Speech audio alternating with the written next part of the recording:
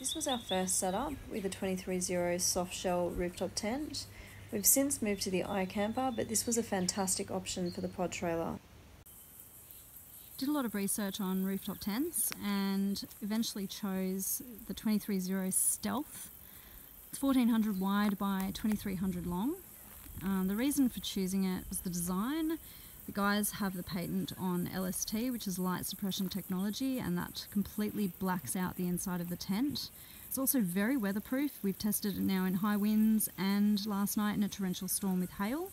Not a drop of water inside. A little bit of shuddering from these windows here in the wind and tiny bit of flapping from the fly. Nothing major, but you can always put two straps, one over here and then one over the back as well. Nice big vented windows. Stops uh, a lot of the condensation. Another unique feature of the Stealth is this aluminium baseboard. So it's metal, not wood. I'm going to show you inside the tent now as well. It's the ladder.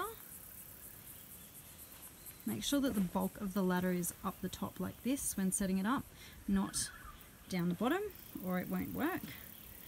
And we've chocked the trailer on one side just to make sure the tent is nice and um, level You can also get boot bags which slide into the sail tracks just here and handy pockets, a couple of brushes there for cleaning off the trailer. This one I face the other way for washing up items. Come up in here and we can see the vestibule also has this dark coating which means I can actually have this front door open at night and it's still really dark inside the tent. This just slides out and locks into place with these clips when you're setting it up. It takes all of two seconds.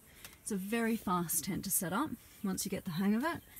Now unzip this large door and I'm going to get inside and turn on the lantern because you can barely see even with both of these windows open. Okay, we're inside the stealth even with the windows open and a lantern on, it is quite difficult to film in here and show you. This is the width. That's Maxon's little bed there with the Spinifex kids sleeping bag. This is the other part of the crash pad sleep system. And underneath, I don't know if you can see it in the video, but I actually have the 23ZERO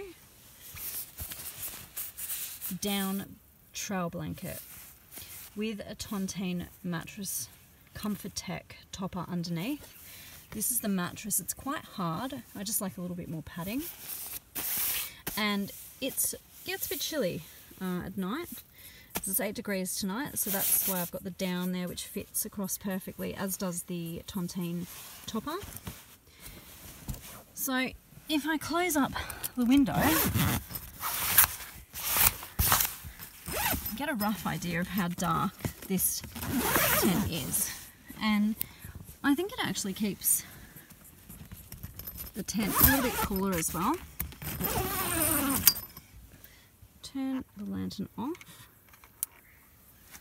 And I might even zip this one up for the video too. So here we are with the front door open and it is dark. The only thing that woke me up this morning was the birds.